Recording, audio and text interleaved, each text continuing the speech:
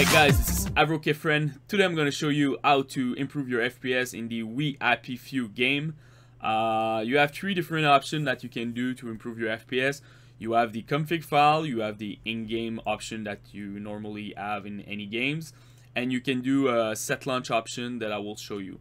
Um, it's always kind of the same because uh, this game is using Unreal Engine 4, so it's kind of the same that all the other video that I did for uh, the Culling or ARK. Uh, one thing to mention, uh, if you want to use the game file setting uh, here, um, you don't have more option here than the game. So normally, generally, you can have like some uh, cool feature that you can add by yourself, but now it's pretty much the same. So uh, to find this file, you need to go to your drive, user, newt, AppData, local, GlimpseGame, save, config, and WindowsNoEditor. After that, you need to open the game user setting. Uh, make sure that you uh, can see your hidden file on your Windows because AppData is hidden. So I'm opening uh, this file. So here you have your resolution if you want to change it. You can change the auto detection if you don't like it. Um, yeah, and that's about it. Um, here is more your uh, graphic option. You got your resolution quality. Here you can gain a lot of uh, FPS if you lower it, but you will see your uh, qu game quality but will decrease like crazy. So don't touch that one. This is the last option. Uh, view distance quality. you can get a nice FPS with this, but you will lose some dis distance when you play. So uh, depending of your uh, setting, if you want to put everything at medium, uh, let you should let view distance by medium. Something weird that I found in the game, you have ultra, high, medium, low, and off. Okay.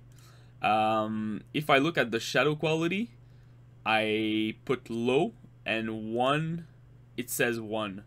I put low uh, medium for light quality and I got one two. It should be two here or something else. I don't know. Because normally if you have four option ultra should be four. But uh, anyway that's something that's weird. The game just released so maybe they will fix that um yeah. Oh, I think under I understand why sorry. It's because shadow you can put off so you can use zero and light quality probably you can just uh, do a low. So uh, you can say for example light quality off. So um, after that uh, you got uh, entry in quality. This one you can get a, a nice chunk by each bracket 5 to 7 FPS uh, in my case. Um, the one that if you have like not a, good computer it's shadow quality for me put this at 0 and uh, you will see a big increase. I saw 3 to 4 FPS for each gap, so uh, ultra to high, high to medium, medium to low, and low to off. You will see it's uh, it's pretty good, um, and it doesn't affect your game quality. You know, it's just shadow. So this one just put uh, zero. Post processing quality, uh, that one 2 to 3 FPS by each bracket. So depending of what you want. Um, texture quality quality uh, doesn't change in I, I did some tests. I did ultra, high, and medium, and I saw like maybe one FPS, so doesn't change anything. So if, if you want your graphic at high, just stay at high and put two over there. Um, effect quality, uh, that one I see a nice chunk, so you can get 4 FPS by bracket, 3 to 4 FPS depending on your video card. And the last one, again, light quality. That one is kind of uh, like shadow quality if you have like some problem uh, struggling with your FPS lower this one. I don't think it affects that much the uh, the visual of your game. So after that you just save. I will not save because I don't want to mess up my stuff. But uh, the last thing you need to do is to read only attribute read only to the file because you don't want the game override the setting that you just did.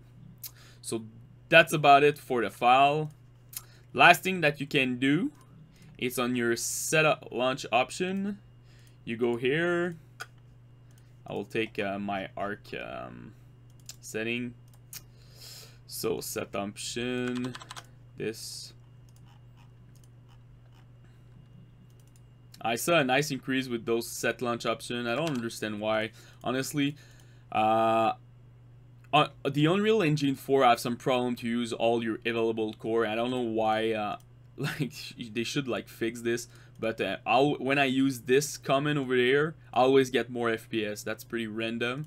And also you can use DirectX 10 with this command and uh, you will see a nice uh, increase in your FPS but again you will lose some effect in the game. So it will use all the effect from DirectX 10 not DirectX 11 so uh, that one you will, will decrease your game. But again if you don't have a good computer and you really want to enjoy a 60 FPS game just do that so that's about it. If you have any questions just comment in the YouTube section and I will um, answer the, the best that I can. If you have like some hardware question or some settings question sorry uh, just make sure that you're putting like your your rig in the question like processor graphic card etc etc thank you very much guy. Bye bye